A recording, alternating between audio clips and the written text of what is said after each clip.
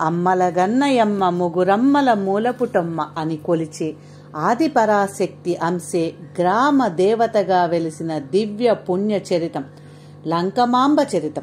కృష్ణా జిల్లా దివిసీమ అనగా అవినిగడ్డలో వెలిసిన శ్రీ లంకమ్మ అమ్మవారి గ్రామోత్సవం సందర్భంగా ఆ తల్లి జీవిత కథ గురించి ఆలయ విశేషాలు చరిత్ర తెలుసుకుందాం.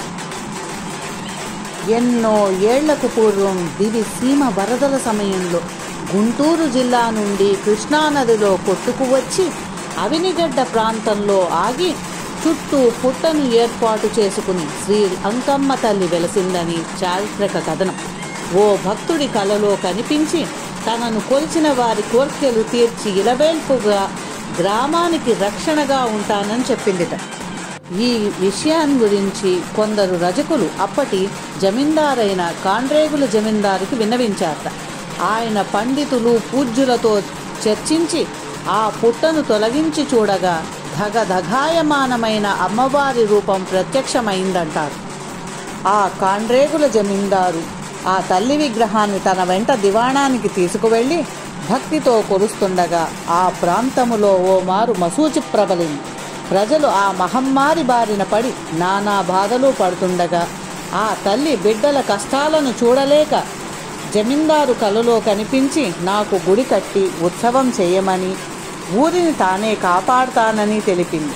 దాంతో కాండ్రేగుల జమీందారు తన పొలంలో కొంత భాగాన్ని శ్రీ లంకమ్మ అమ్మవారికి సమర్పించగా తంగిరాల వీరరాఘవయ్య గారు ప్రస్తుతం ఉన్న ఆలయం ఉన్న చోట ఓ గుడిని నిర్మించారు.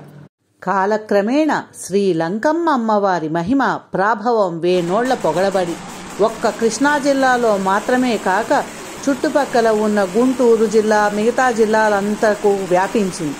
ఆ గుడిలో రజకులే పూజారులుగా ఉండాలని ఆ లంకమ్మ ఆదేశించటంతో నేటికి అక్కడ చాకలివారే పూజారులుగా కొనసాగుతున్నారు. ఎనగడ్డలో వెలసి పోతరాజు వారింటిని పుట్టింటిగా చేసుకుని ప్రజలను కన్న బిడ్డల్లా కాపాడుతూ విపత్కరాలలో దివసీమ వాసులను రక్షిస్తూ తల్లి లంకమ్మ ఈ రోజుకి తన మహిమను చాటుకుంటూనే ఉంది.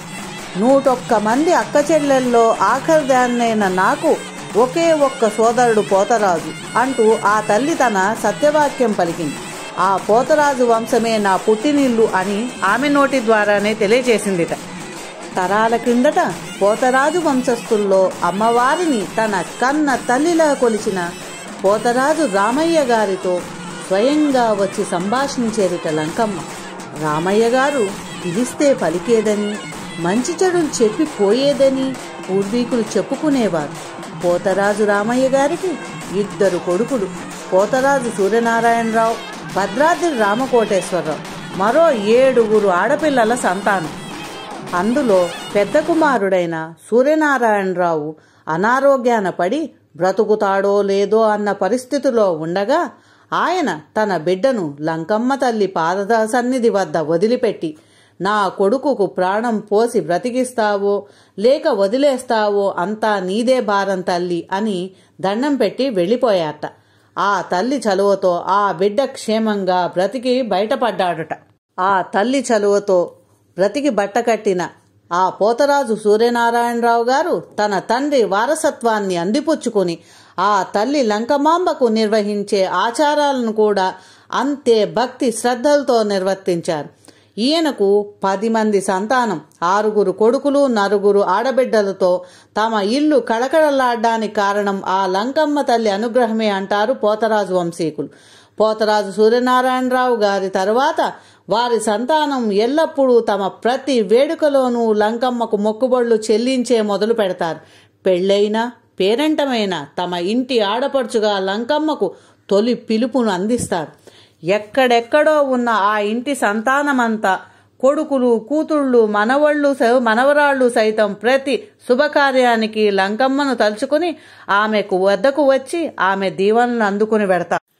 నేటికి ఆ అమ్మను ఇంటి దేవతగా కొలిచే పోతరాజు వంశీకుల వారసుల పేర్లు. అనగా పోతరాజు సూర్యనారాయణరావు గారికి ఆరుగురు కుమారులు. అందులో మొదటివారు సుబ్రహ్మణ్యేశ్వర శర్మ గారు. రెండు రాధాకృష్ణమూర్తి గారు మూడు సూర్యప్రకాశరావు గారు నాలుగు రామ్మోహన్ రావు గారు ఐదు దామోదర్ రావు గారు ఆరు జనార్దన్ రావు గారు. వారిలో ఐదవ కుమారుడైన పోతరాజు దామోదరరావు గారు ఆయన భార్య అన్నపూర్ణ దంపతులు ప్రస్తుతం అవినిగడ్డలోనే కాపురముంటూ లంకమ్మ తల్లికి తమ వంశీకులు తరతరాలుగా నిర్వహిస్తూ వస్తున్న ఆచారాన్ని వారి ఇంటి వద్ద నుంచే మిగిలిన సోదరులతో కలిసి విధిగా నిర్వహిస్తున్నారు. తొలి పూజలు నిర్వహించి గ్రామోత్సవానికి బయలుదేరదీస్తారు. లంకమ్మ తల్లిని జాతరగాను సంబరంగాను ఉత్సవంగాను జరుపుకుంటారు. చైత్ర శుద్ధ నవమి రోజున ఆలయం నుంచి శ్రీ లంకమ్మ అమ్మవారు బయటకు ఊరేగింపుగా బయలుదేరుతుంది. తొలిగా తన పుట్టిల్లు అయిన పోతరాజు వంశస్థుల ఇంటికి చేరుకుంటుంది. పోతరాజు వంశస్థుల కోడళ్ళు ఆమెకు వారపోసి అంటే వేపమండలతో అలంకరించిన బిందెలో పసుపు కుంకుమ పెరుగు వేపాకులు కలిపి ఆ నీటిని అమ్మవారి రథం ముందు పోస్తారు. దీనినే వార అంటారు. వడిగంటి బియ్యం కట్టి కొబ్బరికాయ కొట్టి హారతులిస్తారు. పూలు పళ్ళు కొబ్బరికాయలు గాజులు చీర రవికెలగుడ్డ ఇచ్చి తమ వంశాన్ని ఊరిని కాపాడమని వేడుకుంటారు.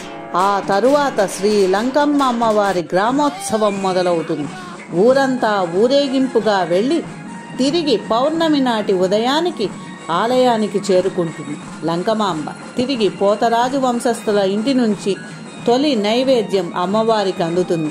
ఈ నైవేద్యాన్ని చాకలివారు డప్పులు దరువులతో వచ్చి పోతరాజు వారింటి నుంచి నైవేద్యాన్ని తీసుకువెళ్తారు. ముందుగా ఈ నైవేద్యాన్ని అమ్మవారికి సమర్పించిన తరువాతే ఇతరుల నైవేద్యాన్ని అమ్మవారికి సమర్పిస్తారు. ఆ తల్లి మహిమలను గ్రామ గ్రామాన కథలుగా పాటలుగా చెప్పుకుంటూనే ఉంటారు. ఆ తల్లిని కొలిచి తమ కష్టాలను బాధల నుండి విముక్తి పొందుతారు దివిసీమవాసులు లంకమ్మ తల్లి మహిమకు సాక్ష్యంగా చెప్పుకునే ఓ ఆచారం నేటికి అక్కడ వాడుకలో ఉంది. సంతానం లేని దంపతులు బిడ్డల కోసం లంకమ్మ ముందు ప్రాణాచారం పడతారు. అంటే ఆలయం బయట ధ్వజస్తంభం వద్ద మహిళలు స్నానమాచరించి బోర్లా పడుకుని రెండు చేతుల బారజాపి అమ్మవారికి నమస్కరించి బిడ్డలను ప్రసాదించమని మొక్కుతారు. ఆ గుడిలోనే నిధులిస్తారు ఆ సమయంలో లంకమ్మ తల్లి కలలో కనిపించి అరటి పండు ఇచ్చి స్వయంగా తినమని చెప్పి వారితో ఆ పండు తినిపిస్తుందిట. అలా తిన్నవారికి త్వరలో సంతానం కలిగేదని చెప్పుకుంటారు సంతానం కలిగిన తదుపరి ఆ గుడిలోని ఊయలలో మొదటగా బిడ్డను ఊపి తమ మొక్కులు తీర్చుకుంటారట. చైత్రశుద్ధ నవమి అనగా శ్రీరామనవమి నాడు గ్రామోత్సవానికి బయలుదేరిన లంకమ్మ పౌర్ణమి నాటి రాత్రికి ఆ గుడికి చేరుకుంటే ఆనాడు రాత్రి అంగరంగ వైభవంగా జాతర మహోత్సవం జరుగుతుంది. ఆలయమంతా దగదగాయమానమవుతుంది ఊరంతా పండగ వాతావరణం నెలకొంటుంది. పౌర్ణమి నాటి రాత్రి నిండు చందమామ క్రింద సంబరం రోజు పెద్ద పెద్ద ప్రభలతో ఊరేగింపులు ప్రత్యేక ఆకర్షణగా నిలుస్తాయి. ఆ ఊరి ఆడపడుచులు తప్పకుండా ఆ జాతరకు పుట్టిళ్ళకు వస్తారు. అమ్మవారిని దర్శించుకుంటారు. మొక్కులు మొక్కేవాళ్ళు కోరికలు నెరవేరాక ఆ మొక్కుబడులు చెల్లించుకునేవాళ్ళు కోల కోకొల్లలుగా కనిపిస్తారు. భక్తులు ఆలయం చుట్టూ ఎడ్లబండ్లు ట్రాక్టర్లు కార్లు బైకులు ఇలా తమ వాహనాలను తిప్పి పూజ చేసుకుంటారు. లంకమ్మ తల్లి జాతరకు ఒక్క కృష్ణా జిల్లా నుండే కాకుండా ఇటు గుంటూరు అటు పశ్చిమ గోదావరి జిల్లాల నుండి కూడా భక్తులు తండోపతండాలుగా తరలివస్తారు. పౌర్ణమి మరునాడు పాడ్యమి రోజు కుమ్మర్లు పెద్ద ఎత్తున అన్నం వండి ధ్వజస్తంభం వద్ద కుంభం పోస్తారు. ఈ కుంభం పోయడం వెనుక కూడా ఒక కథ ఉందని చెప్పుకుంటారు. తన తిరునాళ్ళకు రమ్మని తన నూటొక్క మంది అక్క చెల్లెళ్ళను ఒకే ఒక్క తమ్ముడైన పోతరాజును కూడా ఆహ్వానిస్తుందిట.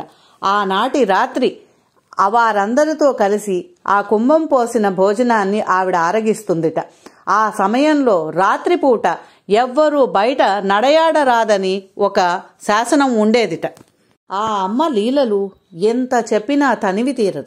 అనారోగ్యంతో బాధపడేవారు కుటుంబ సమస్యలతో సతమతమయ్యేవారు పీడలు గ్రహబాధల్లో మునిగిన వారంతా లంకమ్మకు మొక్కులు మొక్కుతారు.